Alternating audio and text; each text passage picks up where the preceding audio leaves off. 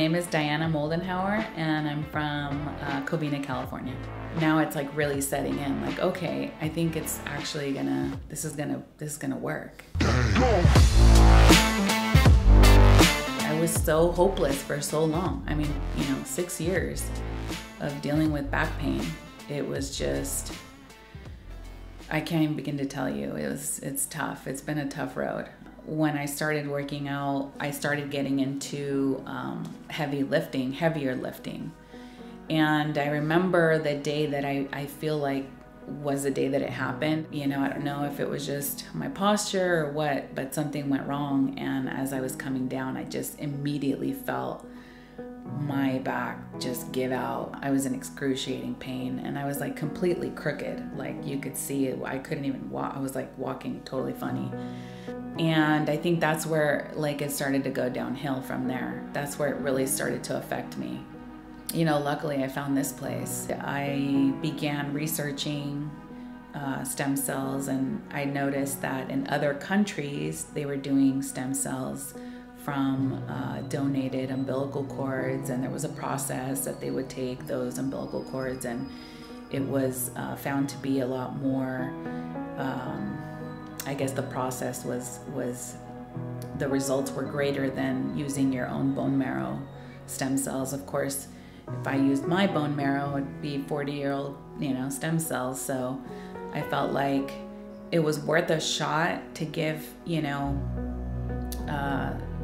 a different country an opportunity. There's so much uh, medicine that goes on in other places that we in the States don't really know about.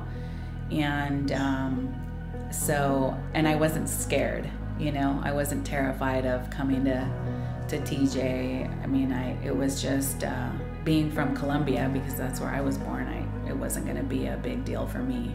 I just wanted to make sure that it was a, a company that I was preferably referred to and so my husband um, knows Scotty and from many, many years ago, and, and luckily was in touch with him.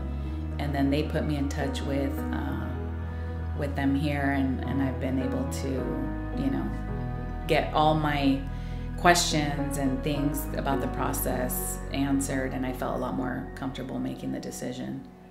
I had an MRI, a new MRI done because I've had MRIs done in the past that, that basically gave me the specific issues that I had with my, my, my low back. It was my L4 and my L5. However, once I did my MRI here, it turned out that I actually had another herniation in my S1. We had uh, three injections done uh, 10 million stem cells in each injection in each disc.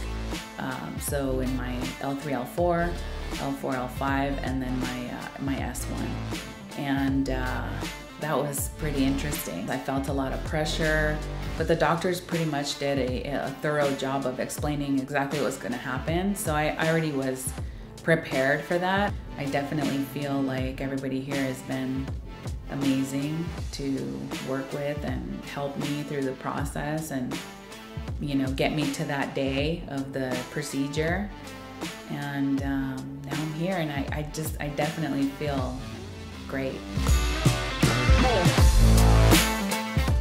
I definitely look forward to getting back into a more active lifestyle again. You know, I've been very sedentary for the past five, six years. I want to go back to just being able to take a hike and not be in excruciating pain. With time, with some time, once I'm able to, I think I'm going to try some yoga.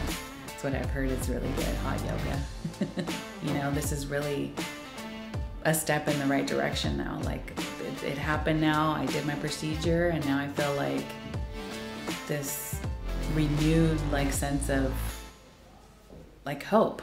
Bye.